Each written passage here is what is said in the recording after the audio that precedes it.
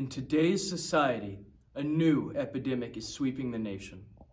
This disease, known as cancel culture, is weakening the core foundations of our country. Cancel culture is making society more sensitive and silencing anyone who doesn't go with the popular viewpoints and mob mentality. In order to cure this disease, we first must start from the beginning.